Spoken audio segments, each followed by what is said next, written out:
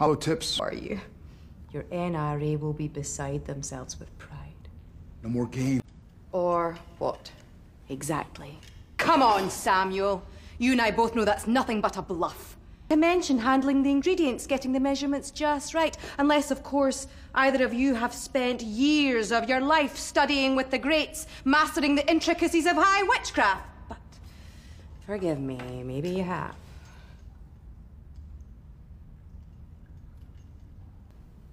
Poor Dean. And negotiate. We know what I wanted.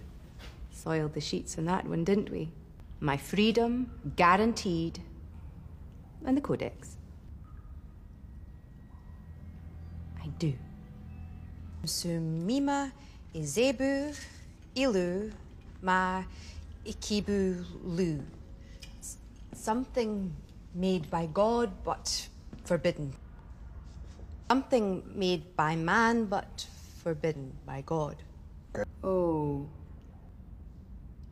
The third ingredient, it's impossible.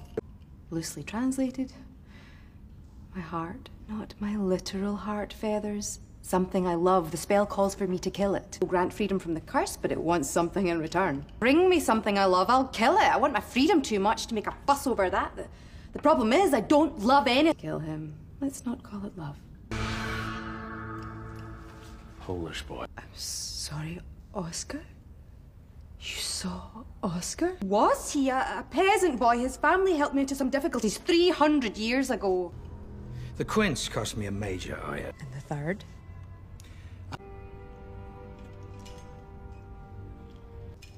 And then you showed up in my dungeon. Miss Fergus, save it for the stage, why don't you? The fact remains, I do not loved anything ever.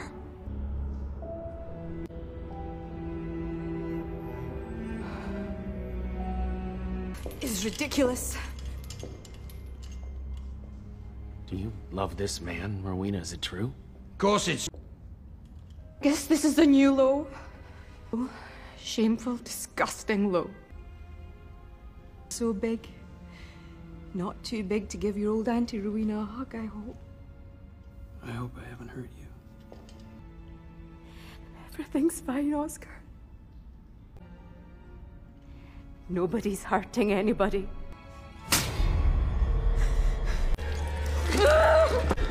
Abcruore cordis mei advisuro in tolli maledictionem tuam hoc. Long life. You've never seen what a real witch can do with real magic. It's the last thing you'll ever see. Deli malum hoc.